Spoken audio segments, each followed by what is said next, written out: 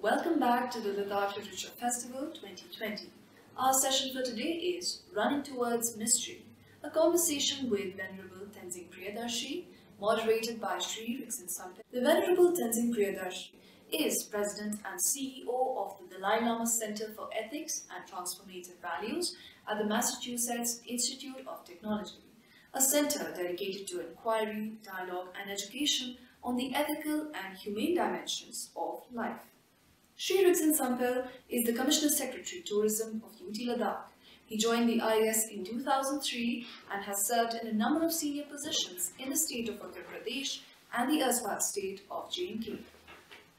Join this candid conversation with Venerable Tenzin Priyadarshi about his book Running Towards Mystery and on the issues of modern day living in the context of Buddhist teachings. Venerable, thank you very much for participating in and agreeing to be part of the Ladakh Literature Festival. A warm Jule to you from Ladakh. It's a delight. Thank you for having me. For the uninitiated, we have your book out here, and it's been a wonderful experience reading the book Running Towards Mystery. Whenever everything starts with a motivation, uh, so i will start this uh, session by asking you what was the motivation for writing this book? It's a memoir. Uh, you are young, I mean, whole life.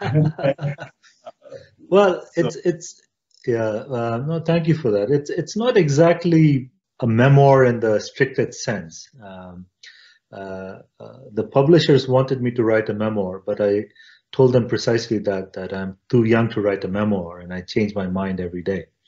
So the memoir bit is a little bit in the beginning, um, where I speak of my sort of early childhood and uh, initial sort of episodes of life.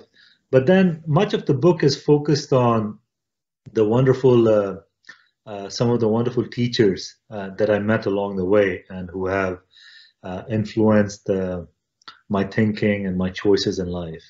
Uh, so I would think, I would like to think more of it as a tribute to, to some of those teachers.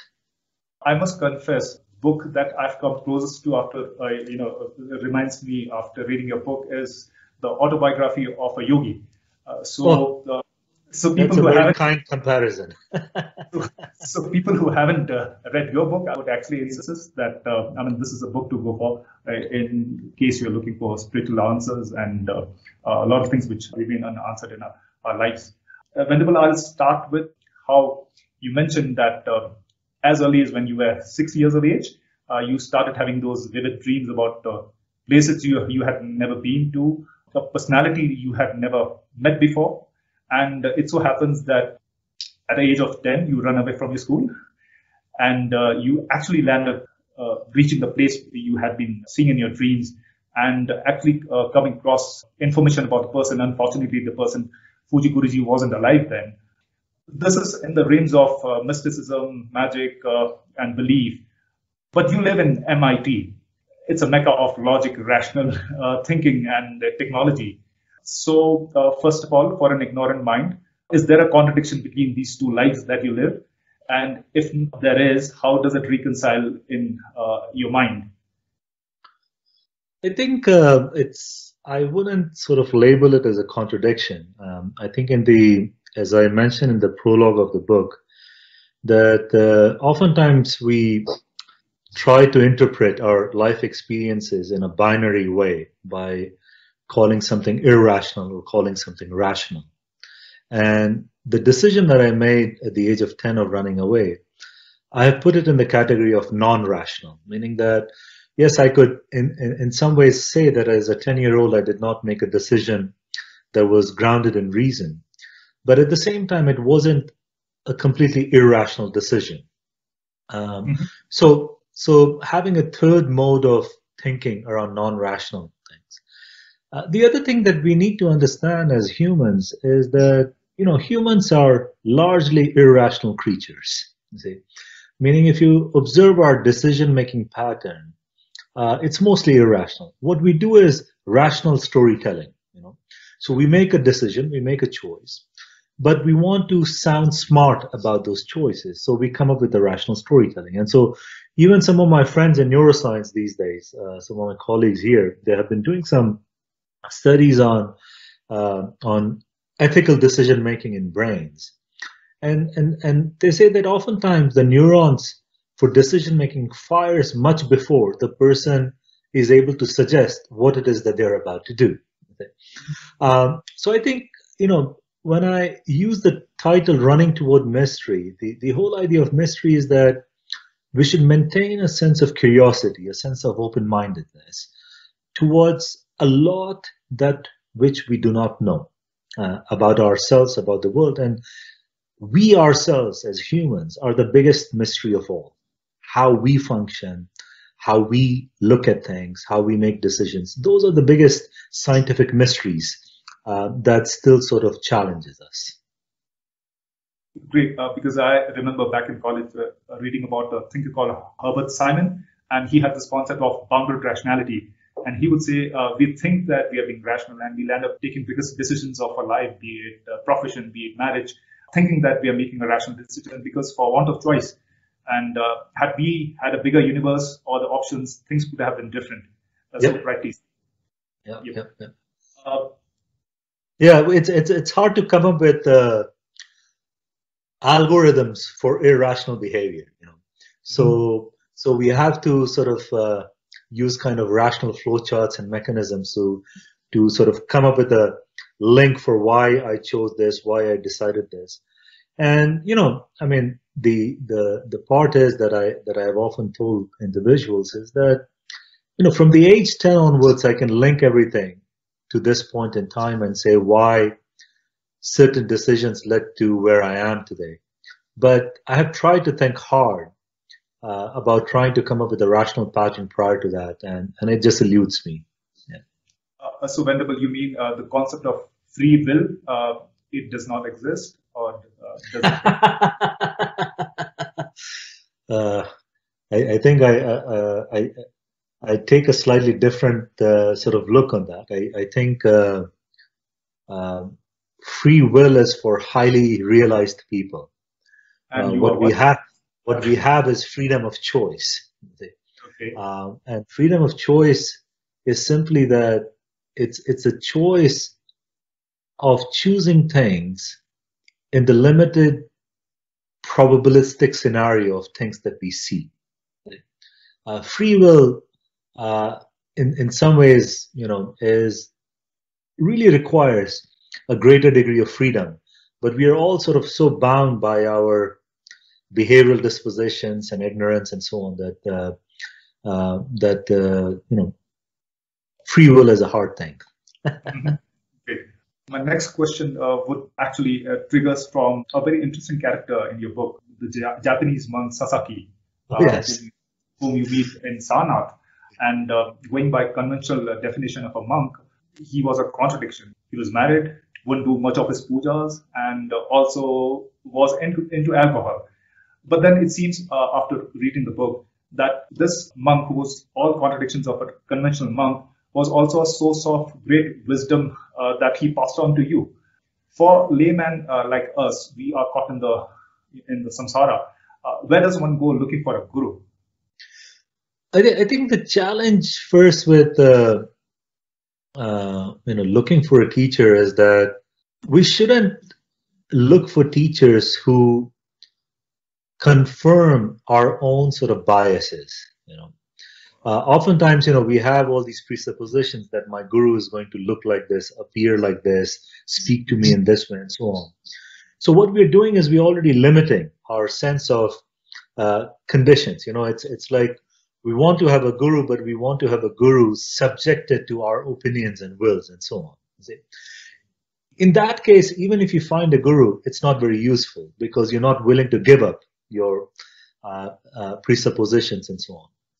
And just to give a bit, bit of a background about uh, Reverend Sasaki was that, you know, in, in 1800s, after the Meiji Restoration in Japan, uh, uh, the Japanese government did decide to impose laws of marriages on monastic tradition there. Because, you know, monks are uh, renegades in, in, in, that regard. They were not married, they didn't have ties to any families.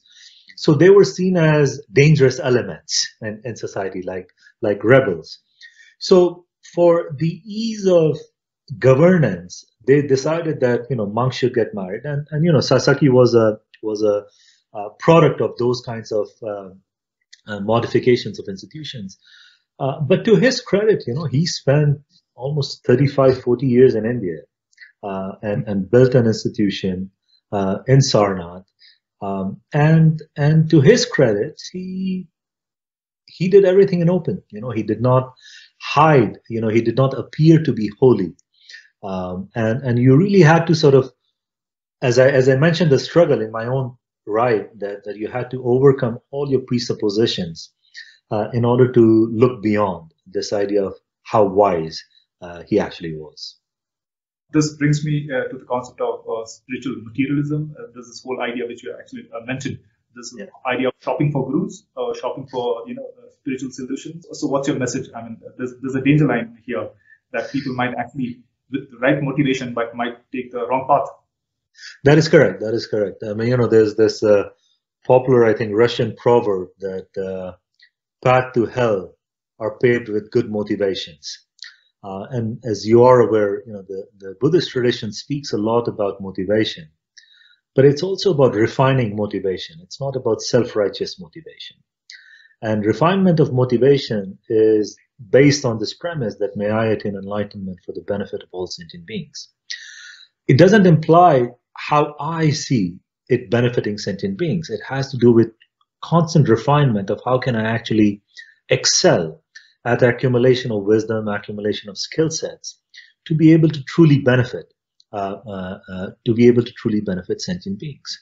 So one of the things to, to recognize is how do we engage in this constant refinement of motivation for the, uh, you know and, and I think that is the thing that we often forget even when we adapt uh, Buddhism as a as sort of a cultural thing you know where it simply becomes like uh, you know we become Buddhist by default.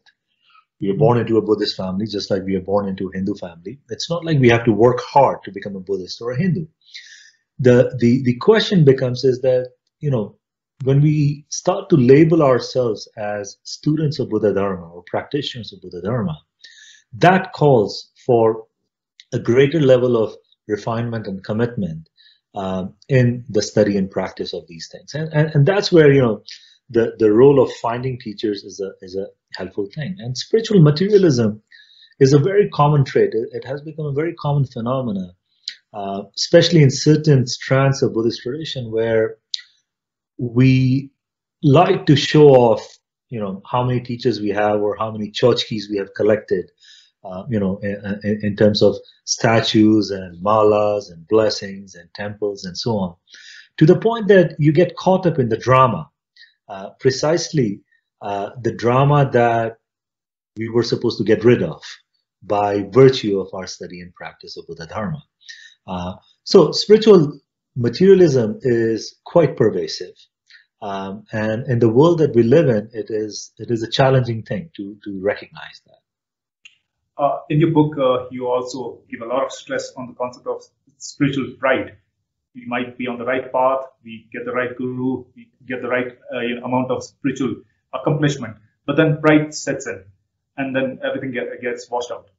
Yes, yes, I, I think that's the most dangerous element of it. Um, you know, ordinary pride we may be able to recognize with the help of a teacher and so on. But spiritual pride is much more sly. It's much more much more agile because spiritual pride knows you very well. Knows you better than you think. Yeah, uh, it knows you. And so it constantly shows off in the way you carry yourself, in the way you uh, interact with individuals.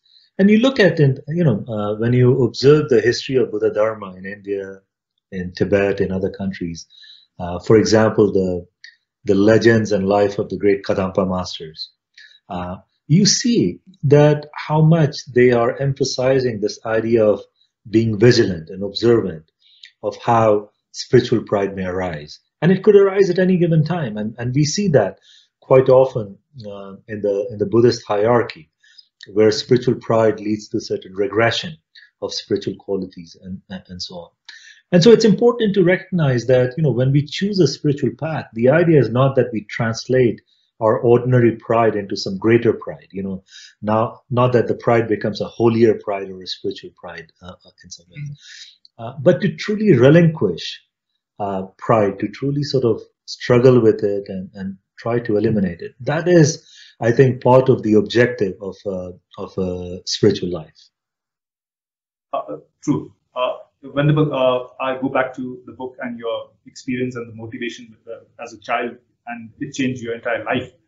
You also uh, mentioned the Hindi word sanskara.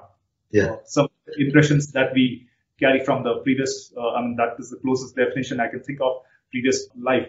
You also talk about tulkus. You talk about reincarnation. How do you scientifically define and um, justify for somebody who's from a background who's based on logic, mathematics, physics? I think you know the the challenge is that the so-called experimental verification see, of, of tulkus or the phenomena of, of re, re, rebirth or reincarnation. I mean, there is a distinction between rebirth and reincarnation. Right? Reincarnation, uh, rebirth is something that everybody goes through. Uh, you know, uh, reincarnation implies a level of realization where an individual is perhaps able to choose which form, which location they're able to born in. So they, they're able to dictate to, to some degree of clarity where they're going to be born. And it has, again, uh, a particular objective and so on. Now, so one of the things that I often tell, you know, from a, from a scientific perspective is that when a phenomena occurs once or twice or three times, you find it curious. When it happens 10 or 15 times, you say, okay, it's an interesting pattern that we should begin to explore. If it happens more than that, you say, okay, now this phenomena is worth studying. And that's what I find with, with this, this idea of, uh, of uh, reincarnation, that there are enough sociological cases and examples of recognition with some degree of consistency that I think it, it's well worth a scientific exploration. The challenge with an experimental study of reincarnation is that it's a very longitudinal study, meaning, you know, here we are talking about, you know, neuroscience study that goes on for 25, 30 years, and we think it's a long time. And when you start to study sort of reincarnation as a phenomenon, we are looking at 150 years, 200 years of studying the same subject under certain kinds of constraints and, and so on. So it does pose a certain kind of challenge. But if you look into, you know, sort of simple uh, sort of ideas, you know, the second law of thermodynamics, of uh, what the fate of energy is, how energy is conserved, and so on. That it again is a function of worldview that if you recognize that human consciousness or consciousness is general is not something that is purely of material properties, right? That that it has some other nature, it has some other property. Because even in scientific community, we don't agree on definition and nature of consciousness per se. Uh, you know, we may agree on the primacy of human brain, but we don't agree on what consciousness is. And so that's the first sort of challenge uh, uh, because we don't have agreeable definition to study what human consciousness is or how it transfers and so on. But you do see, you know, certain kinds of openings like, you know, because of His Holiness the Dalai Lama's encouragement now, for example, uh, there's a pocket of scientists, not everybody is, is intrigued by it, but trying to study Tukdam, you know, uh, as a phenomena. Again, it's one of those things. Two or three instances of Tukdam in modern day uh, India, like we had heard study, uh, uh, we had heard stories of it, but when you start seeing it, and then you start seeing that phenomena repeating itself, it starts becoming, you know, it starts to intrigue you. It starts to say, okay, something is happening there which is worth exploration. But again, we don't have a definite study. In fact, most of my scientific colleagues perhaps would say they don't even know what they're looking for in Tukdam. They have data sets, but they don't know what they're looking for. Great. Next uh, question would be uh, on technology. Uh, uh, are in place where people talk about machine learning, artificial intelligence, and uh, the mobile phone has become like a organ of our body. We carry it. I mean, it's there with the body throughout, and to some extent, it even knows what we're going to ask.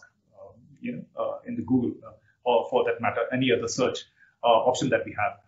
so is humanity doomed by technology? I mean, are we are we programmed for self-destruction that machines are going to finally take over? Um, you know, I would like to maintain an optimistic view of, of the future of humanity. Um, I think the way we are going about it uh, might pose more scenarios for a doomsday uh, future. Uh, but I think you know we have to recognize that technology is as good as its utility for humans. Mm-hmm. Uh, I think what what we did not account for in the longest time was how the usage of technology would change our behavioral patterns, how it would change our behavioral dispositions. And if you look at the arc of emergent technology, it's happening at such a rate that it has become difficult for human behavior to adapt that fast. You know, it's not like there's a 10 year, 20 year, 30 year lag in evolutionary cycle. Um, so I think it's a, it's a, it's a function of, you know, it's, it's, it's more about um, becoming more mindful of what sort of technologies we design, uh, how much time we spend with them, and how do we utilize them. Um, and if we are mindful of that, I think they can be great uh, assistive tools. Uh, um, otherwise, uh, it will continue to pose certain kinds of challenges that we have seen in recent years. Uh, morning, I was reading some news where Google apparently seems they have a they have a team called the Ethical Artificial Intelligence Team. yeah. Mean, is this pattern there? What I mean, how? It comes and goes. it comes and goes. I think you know one of the challenges with with any kind of ethical framing uh, is that corporations or governance entities like like central governments or federal governments that you have to start thinking of ethics not as a public relations exercise. You, know, you have to seriously think about ethics as something that is core to the culture of the company or core to the culture of the organization. So it had become fashionable a couple of years ago, uh, almost since, say, the, the recent financial meltdown in, in 2008 and 2009, that a lot of companies started to establish, you know, new compliance units or new ethic unit, uh, basically to suggest that they are thinking about it but they're not empowered. They're not empowered to make suggestions, make any kinds of changes in the culture and so on. So it mostly becomes sort of, you know, an elephant's tusk. You know, it's it's there for show, uh, and and I think that's sort of the biggest uh, uh, shame with with some of these uh, companies, and especially in the in the tech environment. And so there has been. I have a couple of friends and colleagues who have been pushing uh, uh, quite a bit um, in in you know, for companies like Amazon and Microsoft and Google um, to uh, try to give much more sort of prominent role to an ethics and governance team. One a very important topic which has influenced the entire humanity. It is about Corona, the COVID-19 uh, pandemic. And um, so I was just looking at the points that I jotted, and somehow the topic I've given is karma and corona. So, so is is is there an element of uh, karma uh, for the COVID-19 pandemic that entire humanity is facing? And um, uh, what's your message? I mean, how do we cope with this? How do we go? I think I think the the issue is basically from a scientific perspective, we could not have designed a better social experiment at this large scale, um, uh, where you get to study you know, not only individual behaviors, but behaviors of governments, behaviors of leadership, and so on, in the face of uh, a pandemic, which is which is at such a scale. The the thing to recognize is that you know nature has its own way of resetting, mm-hmm. and it has its own way of forcing humans to remain humble uh, about their ability to control things and control outcomes. You know, one of the uh, very fashionable kind of question uh, in the business world is when people ask you, where do you see yourself in three to five years from now? Right? Where do you see yourself five years from now? I bet you 90% of the people who responded to this question in 2015 we're completely off track. You know, so it, it forces you to to accept a level of intellectual humility and humility in, in, in a manner where you recognize that yes, you can make effort, you can make plans, but you don't have all elements, all variables in control. You see, so it pushes this this sense of human resilience and ability for uh, you know uh, adaptation and so on. So I think it's a you know despite of all the challenges that humanity is facing because of this pandemic since the beginning of since the end of last year pretty much, I think it has also given us an important uh, reset moment. One to recognize what do we really need in life.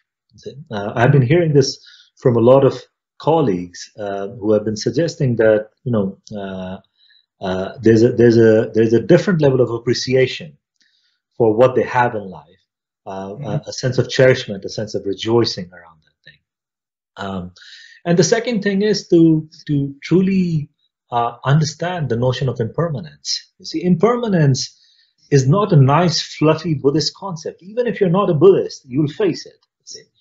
Uh, so you have to come to recognize uh, that these are unknown variables in life that we should sort of be accepting of. And if you do believe in karma, then to think of it as yes, it is something that came out of the karmic evolutionary cycle, and here we are, and try to make the best of this time. Uh, great. Uh, there are implications of corona, and uh, an important implication has been the issue of rising uh, mental health. Uh, families are being, uh, you know, the concept of family has been redefined, profession, people are losing their jobs, lives are being lost. So how does one cope about immense uh, pain and tragedy which humanity is being uh, forced upon? I think you know. Uh, first thing is to recognize and acknowledge that the pain is real, um, and it does. It is posing um, a lot of challenges, especially for you know individuals with daily wages, individuals who are essential workers, um, single mothers uh, who are trying to raise kids at home um, you know, uh, it's, it's, it's, it is posing a lot of challenge. And I think this is the time for, uh, one, I think for us to rethink work, uh, mm-hmm. to recognize that the culture and the environments that we had created in the past is not sustainable, uh, meaning that it could get disrupted uh, in the face of another pandemic or another sort of natural calamity of this nature. So it forces us to to rethink the, the culture of work itself. The the second part of it is I think the role of good leadership. You know, one of the things that the pandemic has presented to us is that, you know, good leadership is not just about good GDP. I mean, good governance is not just about whether you're economically booming. You know, here I am in a first world country with, uh, you know, I think about 2,800 deaths yesterday. So the thing is that it's not about economic viability. It has to do with that does the government really care? And if the government really cares, then it has to manifest that sense of caring in the economic well-being of the lowest common denominator of its citizens. Daily wage workers, essential hmm. workers, single mothers, and so on. And, and so the government needs to step up to, to this task of good governance. And so I think, you know, one of the things that as democratic societies we need to recognize is that good governance means really to have the aptitude and the capability to deal with such crisis. Yeah. Venerable, uh, now I'll go to a topic uh, from within your book. In your book, you mentioned two stalwarts of the Buddhist world of the 20th century, and I start with somebody who's uh, been a great figure, but not very popular, Khunu Lama. So uh, would you like to share your association and teachings of Khunu Lama, how it has influenced your life? There are a lot of Buddhists who will be watching this session, and some of them know about Khunu Lama, and uh, for various reasons, Khunu Lama has always, uh, you know, played this modest and not being very out there in the public. So, what's your message and what's your experience with your association with Khunu Lama? I recognize Khunu Rinpoche as an aspirational figure. He lived a very noteworthy life in a manner where he did not seek recognitions, he did not seek followers, and so on. His life was filled with curiosity to the point where he left Kinnaur to go all the way to Tibet to study. He studied with some of the greatest masters of the previous century, including Patrul Rinpoche and others. And even when he returned to India, his thirst for learning was such that he furthered his study of Sanskrit. He hung out with uh, sadhus of various Shaivite traditions in Banaras and so on. And he continuously taught himself things that would be of help also for others. You know, Khunu Rinpoche was not just a Buddhist teacher. He was somebody who could have been an economist, who could have been a linguist, who could have been somebody who traversed so many different knowledge fields and disciplines. But more importantly, the accounts that I have heard of Khunu Rinpoche, both from you know Tibetans, Ladakhis, and, and some Indians who, who came to know him, even some Westerners who came to know him, is this idea of you know what is what it means to uh, embody the the teachings of Buddha Dharma. These days, unfortunately, you know, we are used to only sort of recognizing again, you know, people with titles and so on. And and you know, historically, we have made jokes about it when you read the again the life of Kadam masters and so on. But what does it truly mean to be a living Buddha? What does it truly mean to be a precious jewel? In utmost simplicity, I think Khunu Rinpoche manifested all of it till the end of his life. And, and I think that's one of the things that I would encourage individuals. We, we should not read about lives of masters, just praise them. We should read about lives of masters to be inspired by them, to be inspired how they lived their life, what were their struggles, what was driving them, you know and if we can learn some things from that and be able to sort of you know, work on it i think uh, uh, that would be the best sort of tribute to to those aspirational figures uh, great uh, my own experience uh, a little bit with Khunu Lama uh, Venerable is you mentioned in the book that you actually went to the place in Banaras where you used to stay as a sadhu. Yes. Yeah. So that place is called Lakshmi Kund. Yeah. So I've been to Lakshmi. Yeah, yeah, yeah. Yeah. But I just couldn't locate my karma wasn't there. I spent a whole day trying to locate the mutt. I was alone. I couldn't. So maybe next time I'll take you know, some guidance from you to locate the mutt. Yeah, uh, yeah, I yeah. whole day there. Yeah, no, it's a it's a it's a it's a beautiful location. Uh, it is sort of you have to uh, go through some uh, you know some gullies uh, uh, and so on. You know, I, I, visited there several times, but one time I remember meeting one of the swamis there uh, Swami Brahmanand, uh, who actually had spent time with with uh, Khunu Rinpoche. And so it was it was just wonderful kind of thing to recognize, to listen to account of this individual from a Hindu sadhu about his own sort of uh, ability to express the teachings of Dharma and how he could synthesize between uh, the teachings of, of Shaivite tradition and the Buddhist tradition and so on. Uh, and, and, that was the beautiful thing. Um, you know, even His Holiness, the Dalai Lama, who has probably been solely responsible for popularizing Khunu Rinpoche in modern day, that when he speaks of him with, with uh, such reverence, and he says that, you know, Khunu Rinpoche had this ability that when he was teaching Shantideva's Bodhicharya or, or Nagarjuna's Mool Madhyamikarika, he would be able to explain the verses and see things in verses that were sort of outside the box of uh, you know other Buddhist scholars and, and certain mm-hmm. So so he he displayed this this beautiful this beautiful sort of ability to synthesize uh, knowledge from from uh, different disciplines, and and I think that's that's just such a wonderful aspirational quality. Great. My uh, last uh, question, as impermanence sets in our conversation also. it can't last for long. Venerable, you mentioned, which was quite a delight to read, that you were very close to the 19th uh, Bakula Rinpoche and you know his value to the people of Ladakh. Uh, I'm sure people of Ladakh would, I'm sure other people also all across the world, Mongolia and all across, would love to hear about your experience with the 19th Bakula Rinpoche. And apparently your family was also very close to Bakula Rinpoche. Yeah, we we it was one of those uh, funny scenarios that my family was close to him because they were all members of the parliament uh, with with Bakula Rinpoche, and I was close to him uh, because of my interest in Buddhism. Uh, he was a very dear friend of Reverend Sasaki. He was a very dear friend of Fujii Guruji. And so it was only after several years of knowing him that I recognized that he was talking to my family and, and that he knew my family in Delhi and so on. And by that time, uh, Rinpoche was already an ambassador. So he would travel a, a, a fair amount. And, you know, one of the things that, that I that I tried to mention in the book was, you know, this intrigue, which was that how does he manage his life as a Buddhist monk and as a diplomat? And because, you know, for my family, this decision of joining a monastery was a very challenging decision. You know, they had other aspirations for me. Um, and so for them, Bakula Rinpoche was sort of a beacon of hope. They were like, okay, you know, if he does something like what Bakula Rinpoche is doing, that would sort of really be a, a path of reconciliation between mm-hmm. what the family is aspiring and, and between what he is, uh, aspires to be.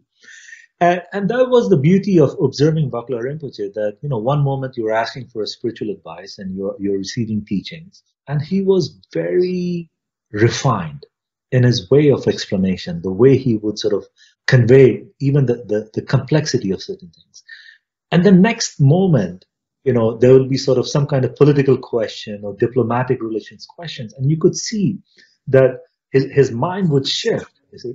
But it was just this beautiful, seamless, you know, hopping back and forth, which you read about in the life of bodhisattvas, you know, how bodhisattvas sort of traverse the stage in samsara and the stage in spiritual life. And Bakula Rinpoche was a master. And uh, I, you know, uh, was often uh, in awe of him, of course. And, uh, and we had uh, a close relationship because of family, because of variety of projects that, that we were part of together. And, uh, and we had especially close, close relationship because I think he was the only figure that my parents and my grandparents would ever listen to. They were not willing to listen to any other monk or, or any other Buddhist figure at that time. It was only Bakula Rinpoche uh, that they had tremendous faith and re- respect. Venerable, thank you very much uh, again for being part of the Ladakh uh, Literature Festival. Your participation adds a lot of value to this event. And I once again, uh, I repeat the book out here, and I would actually insist that people should read it. It's like uh, a guide to the complexities uh, that we live in. Wonderful. thank you very much, and uh, hope to see you in Ladakh someday. July. I hope so too. I hope so too. Thank you so very much, and, and thank you for uh, having me.